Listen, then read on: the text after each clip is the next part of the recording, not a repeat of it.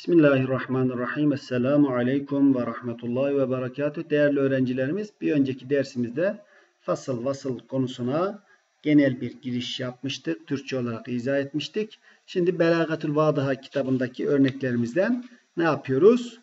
Devam ediyoruz. Bir önceki dersimizde neyi işlemiştik? Hemen görelim.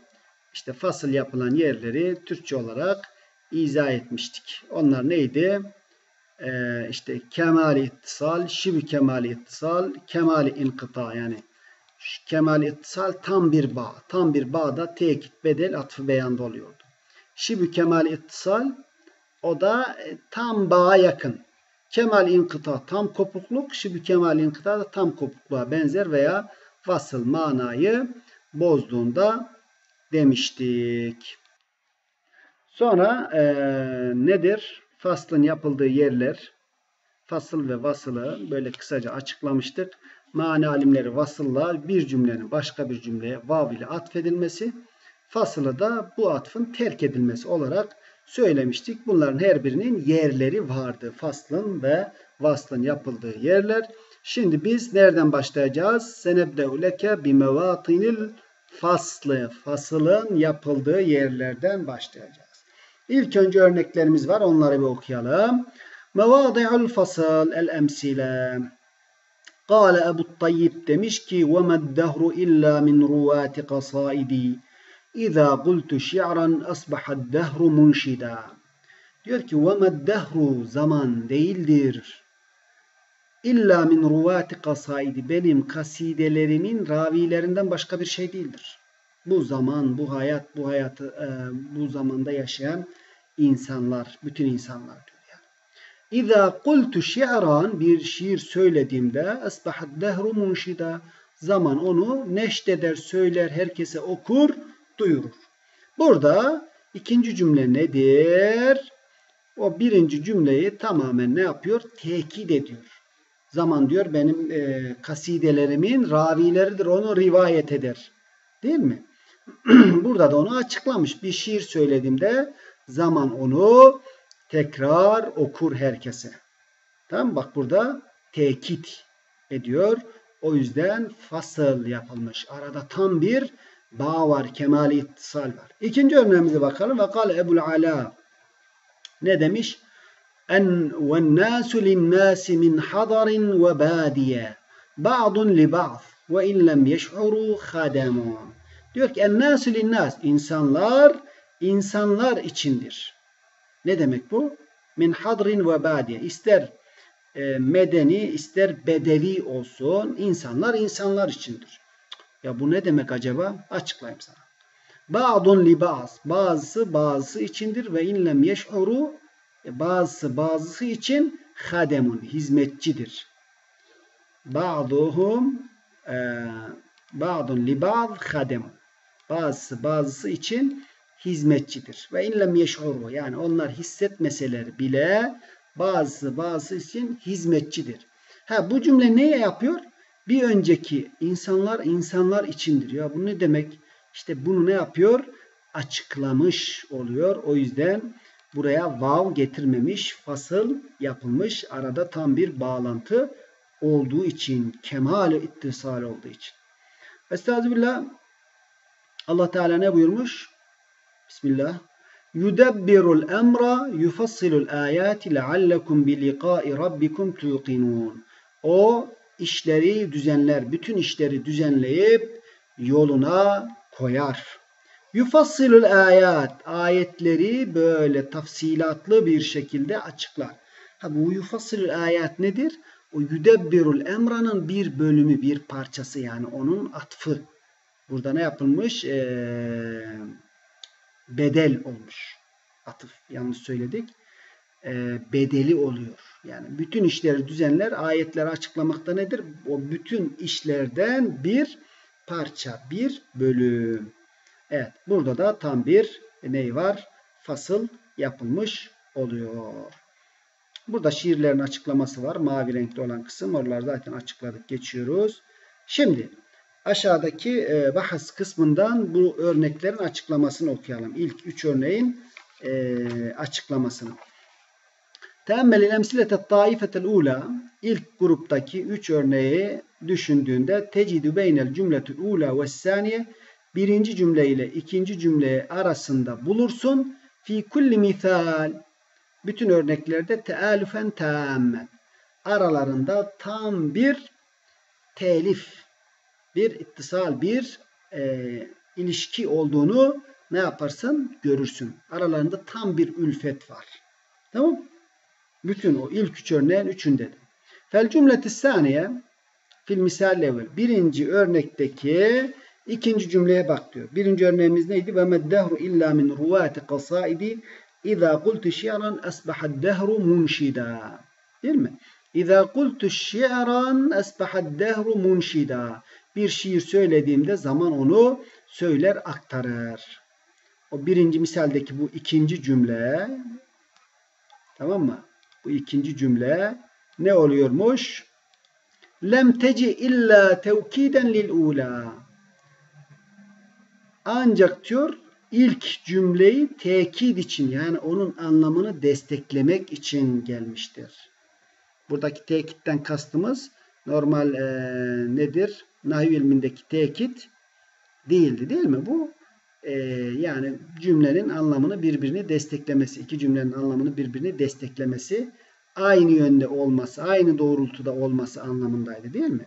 Demek ki bu ikinci cümle birinciyi tekid için anlamını desteklemek için gelmiş sadece. Ve hiye cümletu ve meddehru illa min ruvati kasaid. O anlamını desteklediği ilk cümle nedir? İşte bu cümledir. İnne ma'nel cümleteyni vahidun. Bak iki cümlenin anlamı vahidun. Tektir. İki cümlenin anlamı nedir? Tektir. Aynıdır yani. İki cümlenin anlamı birdir. O yüzden aralarında tam bir bağ var. O yüzden de fasıl yapılmış. Araya vav filan konulmamış. İkinci cümlenin başına vav harfi konulmamış. Vel cümleti saniye fil misali sani. İkinci örneğe bak diyor. En nasu lin nasi min bedvin ve hadira. Ee, orada ne var? Ba'dun li ba'din ve in lem yeş'uru hadem. Bazısı bazısı içindir. Bazı bazısı için hizmetçidir. Onlar hissetmeseler bile. Cümlesi ma caet illa li idahil ula. İlk cümleyi açıklamak için gelmiştir sadece. Tamam? Başka bir şey için değil. Sadece ilk cümleyi açıklamak için gelmiştir. En-nasu lin-nasi min bedvin ve hadira. Bu cümle ilk cümleydi değil mi? Bu cümleyi açıklamak için gelmiştir. Fehiye yani o ikinci cümle beyanun leha. Birinci cümlenin açıklamasıdır. İnsanlar insanlar içindir ne demek? Şu demek. Bazısı bazısı için hizmetçidir. Hissetmeseler bile demek demiş oluyor. Tamam. Demek ki burada da tam bir bağ var. Neden? Çünkü ikinci cümle birinci cümleyi izah ediyor, açıklıyor, beyan ediyor.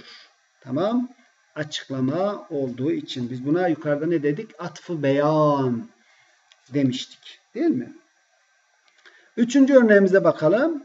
Ee, vel cümletü thaniye fil misali salis. Üçüncü misaldeki ikinci cümleye bak diyor. Cüz'un min ma'nel ula lienne tafsilel ayat ba'dun min tedbiril umur. Çünkü diyor burada ayetlerin tafsil edilmesi, açıklanması e, işlerin düzenlenmesinden bağlıdır. Ondan bir kısımdır. Ba'dun minel kul. Hani bedel türlerinden biriydi değil mi? Ba'dun minel kul. Bütünden bir cüz, bütünden bir parça. İşte feyye bedelun minha o ondan bedeldir. İkinci cümle birinci cümlenin ne oluyor? Bedeli olmuş oluyor. Tamam. Demek ki bu ilk, ilk üç örneğe bakarsak birinci cümle işte birinci örnekte ikinci cümle tekit için gelmiş. İkinci örnekte birinciyi açıklamak için gelmiş. Üçüncü örnekte birinci cümlenin bedeli olaraktan gelmiş. O yüzden bu aralarında tam bir bağ vardır. Ve biz ona kemali ittisal diyoruz. Şu kısmı da okuyalım. Ve la şekke enneke lahasta lahasta ennel cümlete saniye mefsule anil. Hiç şüphesiz ki diyor sen ikinci cümlenin birinci cümleden tafsil edil tafsil edildiğini fark ettin. Anladın. Fi kulli misal minel emsileti selas. İlk üç örneğin hepsinde birinci cümlenin ikinci cümleden tafsil edildiğini, aralarına vav konulmadığını anladım diyor. ولا سر لهذا الفصل سوى ما بينهما من تمام التآلف وكمال الاتحاد. ولا سر لهذا الفصل bu faslın sırrı hiçbir sırrı yok. Siva ne? Onun sırrı ancak ma beynehuma min tamam tealif. Aralarında tam bir ülfet ve kemal ittihad tam bir birlik olmasıdır. Bunun tek sırrı, tek sebebi aralarında tam bir bağ, tam bir birlik olmasıdır. Tamam. وَلِذَا يُقَالْ اِنَّ بَيْنَ الْجُمْلَتَيْنِ كَمَالُ الْاِتِّصَالِ İşte bu yüzden iki cümle arasında kemalül ittisal vardır diyoruz. Tam iki cümle arasında kemal ittisal vardır diyoruz. Devam ediyoruz. Bu ilk üç örnekte anlattığımız kısım neydi? Burada Türkçe olarak anlatmıştık değil mi? Kemal ittisal tam bağlama neydi onlar? Tekitte, bedelde ve atfı beyanda kemal ittisal var demiştik. Türkçe'de bunu bu şekilde anlatmıştık. Orayı hatırlarsanız kolayca anlamış olursunuz. Evet. Ve kâle Ebul Atahiye. İkinci grup örneklere geçtik. Fasıl yapılan yerde ikinci grup örneklere. Dördüncü ve beşinci örneğe bakıyoruz.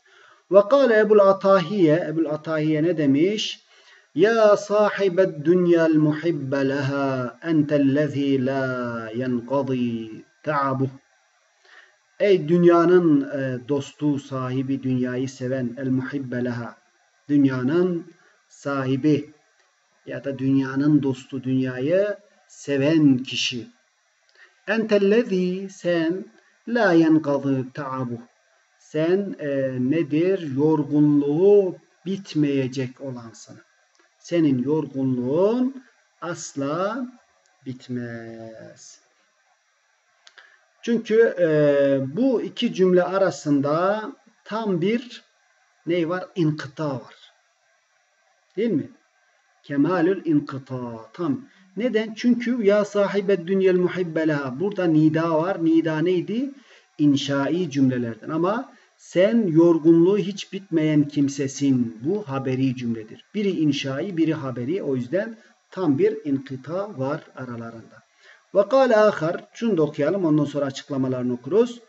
Başka bir şair ne demiş? Ve innemel mer'u bi esgarayhi. Kişi iki küçük organı iledir. İki küçük organına göre kıymeti vardır, değeri vardır. Kullumri'in her kişi rahnun bimaledeyhi yanındakine rehindir. Yani bimaledeyhi yani yaptığı işler, yaptığı e, amellere, hayırlı işler veya kötü işlere rehinidir. Ona göre kıymeti vardır diyor. Bu iki cümle arasında da tam bir inkıta var. Bu kişi iki küçük organıyladır derken bu iki küçük organ el kalbu ve lisan. Kalp ve dil. Yani insanın değeri o iki organına göredir. Tamam. Ee, burada da her kişi yaptığı amelinin rehinidir. Ona bağlıdır demiş. İki cümle arasında bir bağ, bir alaka yok değil mi? Şimdi açıklamalar okuyalım. Temmel misaleyi taifeti saniye tecidil emre alel aks. Bu ikinci gruptaki bu iki örneği 4 ve 5'i okuduğunda bir önceki grupta okuduklarımızın aksine buluyorsun. Tecidül emre alel aks. Tam aks. Orada bir kemalin ittisal tam bir bağ vardı. Burada kemalin inkıta tam bir kopukluk var. Fe inne beynel cümletil evvel ve sâne fi kulli misal muntehet tebayün ve gayetel ibtiad.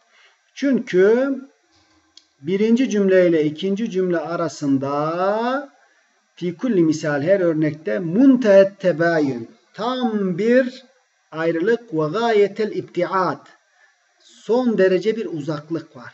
Araları tamamen farklı, tamamen birbirinden uzak. Fe innehuma fil misalir rabi mesela şu dördüncü misale bak.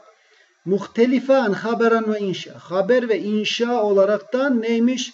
Farklıymış. Ve hâzâ celiyun vâdıh. Bu açık, seçik ortadadır. Tamam. Açık, seçik ortadadır. Apaçık ortada. Görüyorsun değil mi?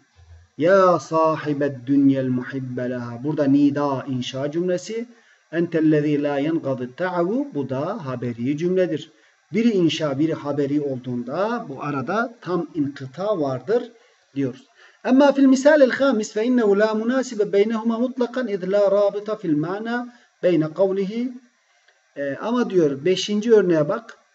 Fe innehu la munasibe beynehuma mutlakan. İkisi arasında kesinlikle bir münasebet yok. İz la rabıta fil ma'na beyne şöyle ki diyor bak ve innemel mer'u bi asgarayhi cümlesiyle ve kavlihi kullu e, kullu mri'in rahnun bima ledeyhi cümlesi arasında bir rabıta, bir bağ yok. İkisi arasında bir bağ yok. Ve huna tecidil cümlete saniye fi kullin minel misaleyn mefsule anil ula. Bu iki örnekte de ikinci cümlelere bakarsanız bak hem burada hem de burada nedir? Vav yok. Burada da burada da vav yok Mefsule anil ula birinciden fasıl yapılmış, ayrılmıştır. Ve la sırra li illa kemalut tebayun. Bunun sırrı ancak nedir? İlla kemalüt tebayün. Tam bir ayrılık ve şiddetü tebaid. Bu şiddetli bir şekilde birbirlerinden uzak olmalarıdır. Tam aralarında tam bir ayrılık, farklılık var. وَلِذَٰلِكِ يُقَالُ فِي هَذَا الْمَوْضِيَ İşte bu yüzden bu durumda denir ki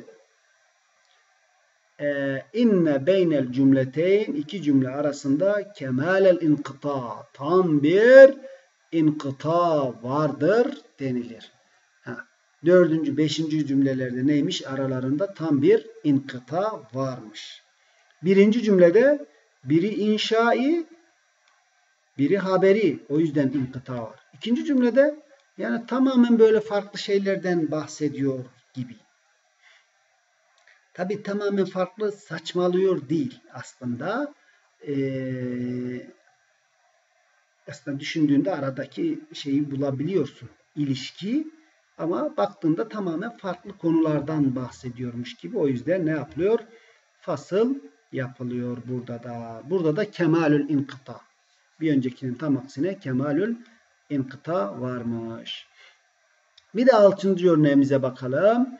Leysel hicabu bi muqsin anke li emela innes sema'e turacca hine tahtecib.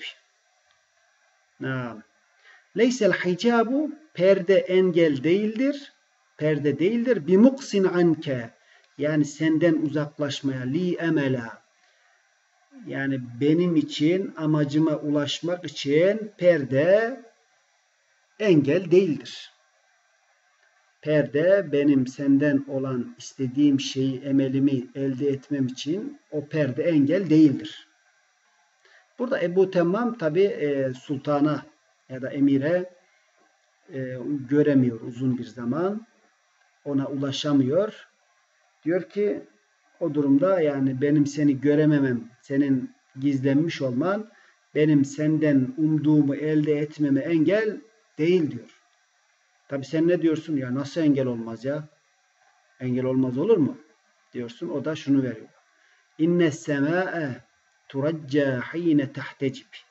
Çünkü diyor gökyüzü hine tahtecib örtüldüğü zaman yani bulutlar kapladığı zaman ondan bir şey beklenir. Yağmur umulur. Gökyüzü tamamen açık bemberrak günlük güneş dikken ondan yağmur beklenir mi? Beklenmez. O böyle bulutlar kapladığı zaman gökyüzü karardığı zaman ha yağmur yağacak diye bir e, beklenti içine girersin diye açıklıyor. Tamam. Bu iki cümle arasında nedir? Fasıl yapılmış. Neden? Açıklamadan okuyalım. Ve o arada da açıklarız. Onzur ilel misalil ahir. Son örneğe bak. Tera ennel cümlete saniyete fihi kaviyetir rabıta bil cümletil ula. Oradaki ikinci cümleyi ne yapıyorsun? Görüyorsun. Kaviyetir rabıta bil cümletil ula. İlk cümleyle güçlü bir bağının olduğunu görüyorsun. Nasıl bir bağ? لِأَنَّهَا cevabı an sualin neşe'e minel ula. Çünkü bu ikinci cümle birinci cümleden neş'et eden, ortaya çıkan bir sorunun cevabı olarak gelmiş. Ya nasıl engel olmaz örtü, en şey onun görünmemesi, senin emeline ulaşmana nasıl engel olmaz? Olması lazım diyor değil mi? Fekenne Ebu Eba Temmam ba'de en netaka bis şatril evvel. Sanki Ebu Temmam birinci kısmı, şu birinci şatrını söylediği zaman tevehheme şöyle bir vehme kapıldı. Enne sailen se'elehu bir kişi şöyle bir soru sordu yani. Bir kişinin şöyle bir soru sorduğu vehmine zannına kapıldı. Keyfe la yahulu hicabul emiru beyneke ve beyne tahkik amalik.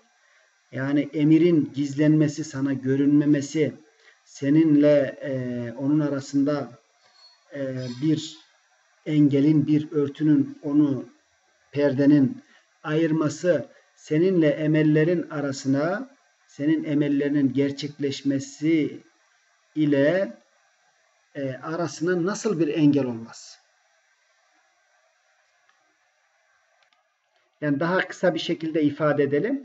Yani emirin senden gizlenmesi, seninle emellerine ulaşman arasında, senin emirden olan emellerine ulaşmadan nasıl engel olmaz? Engel olması lazım diye bir soru sorulduğu vehmine kapılıyor. Fe ecabe ve ona şöyle cevap veriyor. İnne semâe turacca hine tahtecil. Neden?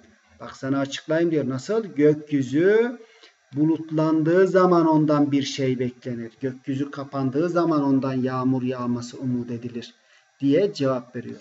Yani burada aslında arada bir şey yok gibi ama nedir? E, bir bağ yok gibi ama düşündüğünde sanki gizli bir soruya cevap olarak gelmiş gibi düşünüyoruz o ikinci cümleyi. فأنت ترى أن الجملة الثانية مفصولة عن الأولى. İkinci cümle ne olmuş? Mefsule. Bak burada vav mav yok. Tafsil edilmiş, ayrılmış. ولا سر لهذا الفصل bu faslın sırrı illa kuvvetur rabi'a beynel şey illa kuvvetur rabita beynel cümleteyn. İki cümle arasındaki kuvvetli bağdır. Bunun sırrı sadece iki cümle arasındaki kuvvetli bağdır. Fe innel cevap şedidül irtibat vel ittisal bis sual. Tamam. Çünkü cevap e, soruyla tam bir bağlantı, tam bir irtibat, güçlü bir irtibatı vardır. Fe uşbihetil halu huna min ba'dil vucuh. Buradaki durum diyor benzetildi min ba'dil vücub bazı yönlerden buradaki durum benzetildi. Neye benzetildi? Hale kemalil ittisal elleti tekaddemet. Daha önce ilk başta söylemiştik ya tam aradaki bir bağ. Kemali ittisal. Daha önceden söylediğimiz kemali ittisal durumuna benziyor. Buradaki durum da daha önce söylediğimiz kemal ittisal durumuna benziyor. Ve lizalike yukal işte bu yüzden deniliyor ki inne beynel cümleteyni şibe kemalil ittisal. İki cümle arasında şibu kemalil ittisal var. Tam bağlılığa benzeyen bir bağlılık var deniliyor. Demek ki şibu kemalil ittisal. Arada bir cümlenin cevabı imiş gibi geldiği için aralarında tam bir bağ varmış gibi düşünülüyor ve ne oluyor? Tafsil edilmiş oluyor. Fasıl yapılıyor. Evet fasıl yapılmış oluyor dedik. Bu şibi kemal ittisali Türkçe olarak nasıl anlatmıştık biz? Yani iki cümle arasında sanki bir soru, ikinci cümle birinci cümleden kaynaklanan bir sorunun cevabı olarak geliyor demiştik. Sebema uberri'u nefsi. Niçin kendini, nefsini temize çıkarmıyorsun? Ha bak söyleyeyim sana cevabını. Diyor sanki adeta innen nefse le emmâratun bis ya da Mesela Hazreti İbrahim Aleyhisselam'a elçiler, melekler insan suretinde elçiler halinde gelince selam verdiler. E İbrahim ne yaptı? Kale selam. Bak İbrahim e, meleklerin selamına karşılık İbrahim ne dedi sorusunun cevabını kale selamun şeklinde açıklamıştık. Burayı da hatırlarsanız onu kolayca anlamış olursunuz. Evet. Faslın yerleri, mevadi'ul fasıl kaidesinde okuyalım ve konu, konumuzu bitirmiş olalım. El vaslu, fasıl ve vasıl tabi aynı şeyler olduğu için birbirinden ayrı anlatılamıyor. Birbiriyle ilişkilendiriyoruz. O yüzden burada da vasılın açıklamasını yapmış yani fasıl anlatmak için. El vaslu atfu cümletin ala uhra bil vav. Vasıl nedir? Bir cümlenin başka bir cümleye vav ile atfedilmesidir. Vel faslu terkü hadel atf. Fasıl ise bu atfın terk edilmesi. Vav'ın oraya getirilmeyip cümlelerin ayrılmasıdır. Ve li kulli minel faslı vel vaslı mevadiye hassa. Fasıl ve vaslın her ikisinin de kendine has yerleri vardır. Biz şimdi fasıl, faslın yerlerini söyleyeceğiz burada. Yecibul faslı faslu beynel cümleteyn fi selaseti mevadi. İki cümle arasında şu üç durumda fasıl yapmak gerekir. Neymiş bu üç durum? Birincisi. En yekune beynehuma ittihadun tam. Aralarında tam bir ittihat olması, birlik olması. Ve zalike bu da nasıl oluyor? Bi en cümletü saniye tevkiden lil ula. İkinci cümlenin birinci cümleyi tekit etmesiyle olabilir. Aralarında tam bağ nasıl oluyor? İkinci cümle birinciyi tekit edebilir veya ev beyanella veya onu açıklayabilir. Ev bedelen minha veya onun bedeli olabilir. Tamam? Veya onun bedeli olabilir. Demek ki üç durumda aralarında ittihadı tam oluyormuş. Tekidi olduğunda, beyan olduğunda ve bedeli olduğunda ikinci cümle, birinci cümlenin bu şekilde olduğunda aralarında tam bir birlik var diyoruz. Ve yukalu hineyze inne beynel cümleteyn işte bu durumda iki cümle arasında kemalel ittisal tam bir bağlantı vardır deniliyor. Ve ne yapılıyor? Fasıl yapılıyor. İkincisi nedir arkadaşlar? En yekune beynehuma tebayunun tamun. Fasıl yapılan ikinci bir yerde iki cümle arasında tam bir tebayün, tam bir farklılık, bir ayrışma olduğu zaman. Ve zâlike bi en tehtelife haberan ve inşaen. Bu tam bir ayrışmada nasıl olabilirmiş? Haber ve inşa. Birinin haberi, birinin inşai olması mesela tam ayrışma demektir. Tamam. Ev veya nasıl olurmuş tam ayrışma? Bi ella tekune beynehuma münasebe temma. Yani aralarında herhangi bir münasebetin olmamasıyla olabilir. Aralarında hiçbir alaka yok. Hani Türkçe örnekte demiştik ya. Mate Zeydun ve zer'a Amr. Zeyd öldü, Amr şey yaptı. Ekti biçti. Ya da liyekul Zeyd, Zeyd yemek yesin. İdrib Amr. Amr dövün gibi aralarında hiçbir bağ yok. Herhangi bir münasebetin olmaması. Ve yukalu hineyzin inne beynel cümleteyni kemalel inkıta. İşte bu durumda iki cümle arasında tam bir inkıta, bir kopukluk vardır denilir. Burada da fasıl yapılırmış. Üçüncü durum en tekune thaniyetu cevaben an sualin yufhemu minel ula. İkinci cümlenin birinci cümleden anlaşılan bir sorunun cevabı olması. İkinci cümlenin birinci sorudan anlaşılan sanki gizli bir sorunun cevabı olması. Ve yukalu hine izin inne beynel cümleteyn bu durumda da şöyle denilir. İki cümle arasında beynel cümleteyni şibhe kemalel ittisal. Yani şibhe kemalel ittisal vardır denilir. Tam bağlantıya benzer bir bağlantı vardır denilir. Tabi meane alimlerinden son dönemdekilerden bazıları fasıl için başka yerlerde söylemişler ama onun detaylarına şimdilik girmiyoruz. Bugünkü anlattığımız dersi özet bir şekilde söylersek arkadaşlar neyden bahsettik? Vasıl iki cümleyi vav harfiyle birbirine atfetmek. Fasıl ise bu atfı bırakmak, ayrıştırmak demiştik. Bunun da örneklerini söyledik. Faslın yapıldığı yerler iki cümle aralarında tam bir kemalül ittisal varsa dedik. Kemalül ittisal de nedir? İkinci cümle birinci cümleyi tekit ediyorsa, ikinci cümle birinci cümleyi beyan edip açıklıyorsa, İkinci cümle birinci cümlenin bedeli olduğunda tam bir bağlantı var diyorduk. Kemalü ittisal. Demek ki kemalü ittisal deyince tekit, beyan ve bedel aklımıza gelecek. Sonra burada açıklamasını yapmıştık o ilk üç örneğin. İkinci grupta da kemalül inkıta tam bir bağ kopukluğu. Bu kemalül inkıtada nasıl olur? İşte ikisi farklı olur. Biri haber, biri inşa cümlesi olur. Tam bir kopukluk. Veya aralarında böyle bir alaka yoktur yani. Biri diyor ki kişi iki küçük organıyla kalbi ve lisanıyladır. Herkes yaptığına göre e, yaptığı amellerin rehinidir, ona bağlıdır. Yani ikisi arasında bir e, şey yok. Tam bir kopukluk var. İnkıta var. Tamam. Bu da da tam e, inkıta diyorduk. Üçüncü durumda da neden bahsetmiştik? Tam bir bağ varmış gibi, tam bağa benzer bir bağ.